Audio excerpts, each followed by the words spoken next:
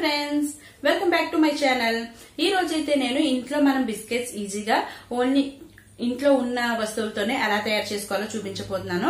Only three ingredients ఉంటే చాలండి. Biscuits ఈజీగా చేసుకోవచ్చు. ఇప్పుడు బేకరీస్ అవి కూడా లేవు కదా. పిల్లలకి ఏదో ఒకటి అడుగుతూ ఉంటారు. ఈ బిస్కెట్స్ అయితే మనం ఏం కాకుండా ఒక వన్ మంత్ వరకు స్టోర్ చేసుకోవచ్చు అనమాట అది కూడా త్రీ ఇంగ్రీడియంట్స్ ఇవైతే చాలా క్రిస్పీగా ఉన్నాయి. చాలా టేస్టీగా ఉన్నాయి. చూడండి బిస్కెట్స్ అయితే. చాలా బాగున్నాయి. నిజంగా టేస్ట్ కూడా అమేజింగ్గా ఉంది. పిల్లలు అయితే ఇంకా చాలా ఇష్టపడి తింటారనమాట సౌండ్ చూసారా? సౌండ్ కూడా వస్తుంది. చాలా బాగున్నాయి. కంపల్సరీగా రెసిపీ అయితే ట్రై చేయండి ఫ్రెండ్స్. బిస్కెట్స్ ఎలా చేయాలో చూపించే ముందు కంపల్సరీగా ఇప్పటి వరకు ఎవరైనా నా ఛానల్ సబ్స్క్రైబ్ చేసుకోకపోతే వెంటనే సబ్స్క్రైబ్ చేసుకోండి ఫ్రెండ్స్. అండ్ ఆల్సో నా ఛానల్ కింద బెల్ ఐకాన్ ఉంటుంది. బెల్ ఐకాన్ ప్రెస్ చేయడం వల్ల నేను ఏ వీడియో అప్లోడ్ చేసినా అది వెంటనే నోటిఫికేషన్ మీ వరకు వచ్చేస్తుంది. నేను ఇంకా బేకింగ్ ఐటమ్స్ చూపించాలి అనుకుంటున్నాను. ఓవెన్ లేకపోయినా పర్లేదు మనం ఇంట్లోనే ఈజీగా బేక్ చేసుకోవచ్చు అనమాట ఇప్పటి వరకు ఎవరైనా నా ఛానల్ లైక్ చేయకపోతే వెంటనే లైక్ చేయండి ఫ్రెండ్స్. ఎందుకంటే మీరు ఒక్క లైక్ ఇవ్వడం వల్ల నాకు చాలా సపోర్టివ్గా ఉంటుంది. ఇంకా మంచి మంచి అప్లోడ్స్ అయితే చేయగలుగుతాను. ఓకేనా?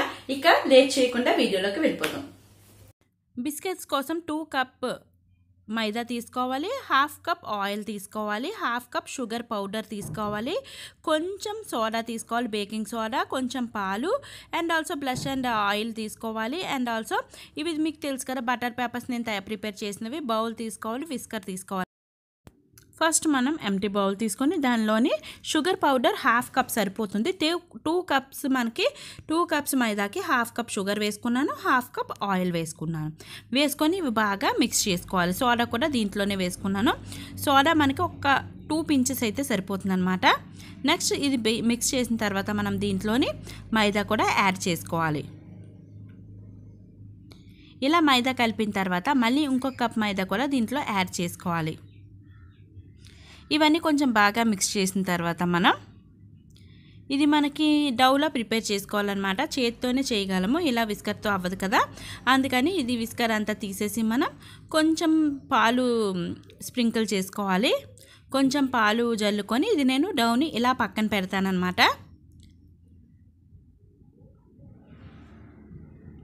అలా కొంచెం కలిపేసి పక్కన పెట్టుకోవాలి. నెక్స్ట్ బటర్ పేపర్ తీసుకొని ప్లేట్లో మనం బటర్ పేపర్స్ వేసుకోవాలి. బటర్ పేపర్స్ దానికి అంటుకొని ఉండేలా కొంచెం ఆయిల్ అప్లై చేసుకోవాలి. నార్మల్గా అయితే ఆయిల్ అప్లై చేయకపోయినా ప్రాబ్లం లేదనమాట కానీ నేను కొంచెం అంటే అలా అంటుకొని ఉండాలని నేను అప్లై చేస్తున్నాను.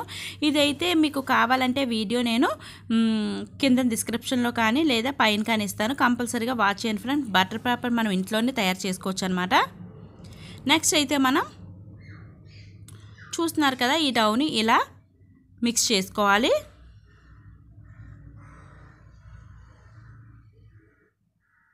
ఇలా దీన్ని మనం పల్చగా చేసుకోవాలన్నమాట. అంటే మనం దీన్ని బిస్కెట్స్లా కట్ చేసుకోవాలి. ఇలా సర్దుతూ నీట్గా మనం చేసుకోవాలి. నెక్స్ట్ మనం ఏ షేప్లో కావాలి బిస్కెట్స్ ఆ షేప్లో కట్ చేసుకోవాలి. నేనైతే హాఫ్ ఇంచ్ మందంగా ఈ బిస్కెట్స్ చేస్తున్నాను అన్నమాట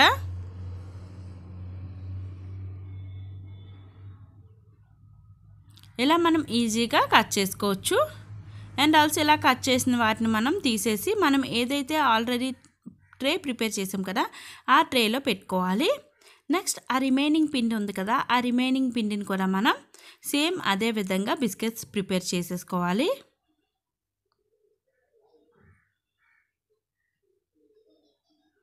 కొంచెం గ్యాప్ ఇచ్చి మనం పెట్టుకోవాలి. ఎందుకంటే బిస్కెట్స్ కొంచెం పెద్దగా అవుతాయి కదా బేక్ చేసిన తర్వాత. అందుకని మధ్యలో మీరు ఇలా గొయ్యిలా పెట్టి దానిపైన బాదం కానీ లేదా గ్రౌండ్ నట్స్ కావచ్చు కాజు కావచ్చు ఏదన్నా పెట్టుకోవచ్చు అనమాట డ్రై ఫ్రూట్స్ నేనైతే టూటీ ఫ్రూటీ పెట్టాను.